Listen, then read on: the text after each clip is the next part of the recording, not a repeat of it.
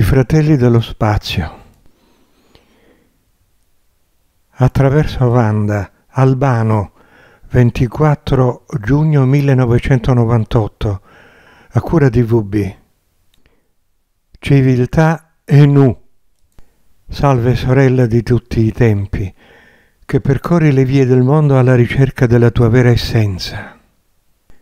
Il vero scopo dell'esistenza è di essere creature cosmiche, anche sulla Terra. Quale insegnamento concreto puoi dedurre dalla lettura che oggi hai iniziato?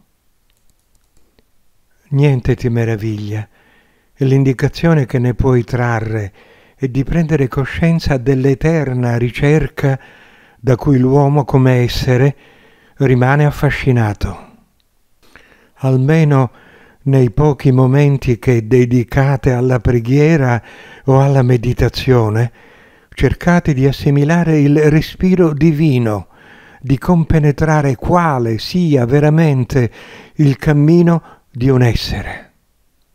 Un essere sempre alla ricerca di qualcosa che lo soddisfi, di comprendere quale sia lo scopo di tutti i suoi trapassi e le sue rinascite e del perché, dopo tante esperienze, stia ancora brancolando nel buio.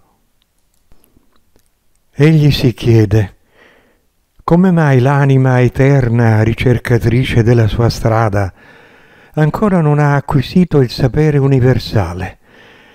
Come mai dalla vita nell'eterno presente si proietta e si immerge sempre di più nella materia? Come mai con la sua forza di volontà non riesce a dominare sulla parte terrena e a far emergere la sua appartenenza, che è il luogo dove anela ritornare? Come può rientrare nella sua patria se non porta a compimento la sua purificazione. Cara sorella, ti diamo modo di riflettere perché tu hai bisogno di un esame attento che ti conduca alla consapevolezza del tuo divenire. Come forma astrale sei sempre alla ricerca dell'io subliminale, quell'io che sente la mancanza del respiro divino e dell'appartenenza al tutto, essendo consapevole che questo distacco, questa lontananza, anziché assottigliarsi, lo opprime sempre di più.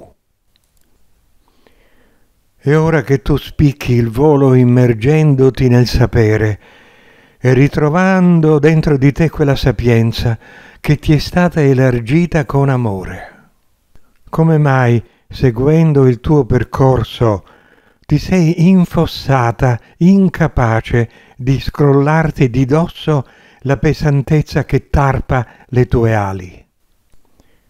Perché non cerchi la tua vera essenza? Perché sosti di fronte a una verità così illuminante che ti viene donata dall'energia del cosmo? Sono tante le domande che ti rivolgiamo per farti arrivare a comprendere la tua vera essenza.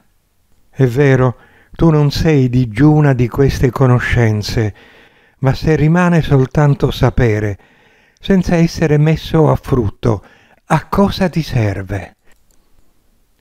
Non è questo il cammino che devi fare. Avevi deciso ben altro e dovevi raggiungere altissimi traguardi perché tante soste? Continua nei video successivi.